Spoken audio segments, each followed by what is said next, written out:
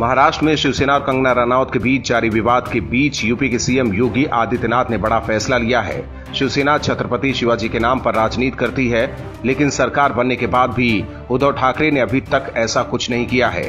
इस बीच योगी आदित्यनाथ ने फैसला किया है, आगरा में मुगलों की विशेष उपलब्धियों को प्रदर्शित करने वाले मुगल म्यूज़ियम का नाम बदलकर छत्रपति शिवाजी महाराज के नाम पर रखने का आदेश दिया है। ये आदेश उन्होंने आगरा मंडल के विकास कार्यों की समीक्षा के दौरान दिया है। योगी ने दावा किया कि उनकी सरकार हमेशा राष्ट्रवादी विचारधारा को पोषित करती है और ऐसी किसी भी चीज़ से परहेज किया जाएगा जिससे गुलामी की बू आती हो। उन्होंने ज़ोर देते हुए कहा, मुगल हमारे नायक कैसे हो सकते हैं? छत्रपति शिवाजी का नाम राष्ट्रवाद और आत्मसम्मान की भावना का संचार करेगा। अब योगी का ये फैसला महाराष्ट्र के रण में भी पहुँच गया है।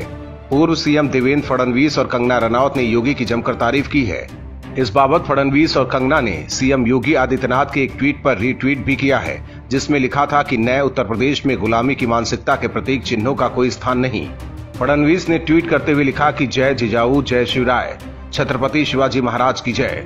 सीएम योगी आदित्यनाथ के आगरा में मुगल संग्रहालय का नाम छत्रपति शिवाजी संग्रहालय रखने के फैसले का कंगना रनौत ने समर्थन किया है।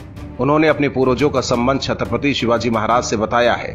कंगना ने लिखा कि जिस तरह से महान नेता बाला साहेब ठाकरे के पूर्वज बिहार से आते हैं, उसी तरह कई थ्योरीज में महान शिवाजी महाराज का संबंध जयपुर के राजखराना से भी बताया गया है। मैं हिमाचल में पैदा हुई हूँ, लेकिन मेरे पूर्वजों रनोट का संबंध उदयपुर से है। हमारी कुल देवी माँ अंबिका है। हालाँकि योगी जब से सीएम बने हैं, वो मुगलों के नामों को हर जगह से मिटा रहे हैं।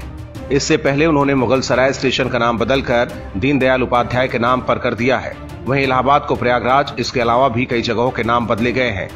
लेकिन इस बार योगी के नाम बदलने का टाइमिंग खास है, क्योंकि महाराष्ट्र में उद्धव और कंगना के बीच जंग छिड़ी हुई है और योगी ने इसमें छत्रपति शिवाजी की एंट्री करा दी है।